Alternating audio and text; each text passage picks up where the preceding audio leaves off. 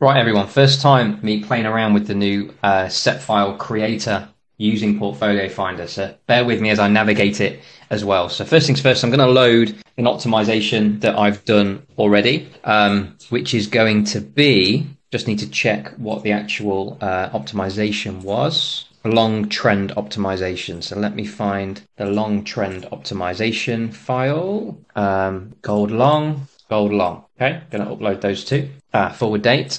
There we go. So the forward date was 1st of March. Upload. There we go. Okay. So we have some data here. Um, have I set my target drawdown? So I'm going to reduce that to a thousand and refresh. That's the wrong um, number. There we go. So I've entered a thousand.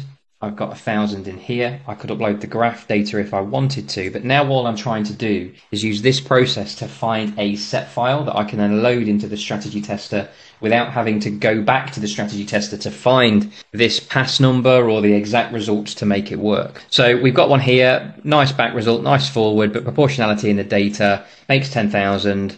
Um, and back pass 6414. So I'm going to click this, see what happens. Um, so, okay, what I'm doing now here is select the optimization, which is this one, select the base file, which is the optimization file that I created. Click convert. Here we go. So the pass number I wanted was 6414. There we go. So if I click that, it saved it. So this now should make 10,679 with a thousand drawdown, give or take. This test was done on OHLC, so I'm now going to test it on every tick with real tick. So I'm going to come in here. I'm going to click load, not save. Uh, downloads. Uh, there it is, 6414. I'm going to change this, what it's on already, every tick with real ticks, uh, 1 to 100. Remove the forward because I've already done that bit of the work um, within the beginning part of my process. Looks pretty good so far. There we go. So profits 10,000. Now drawdown's a little bit higher than the um, portfolio finder, so I can adjust this accordingly. Um, but it saved me a load of time because I did the test, found results really quickly,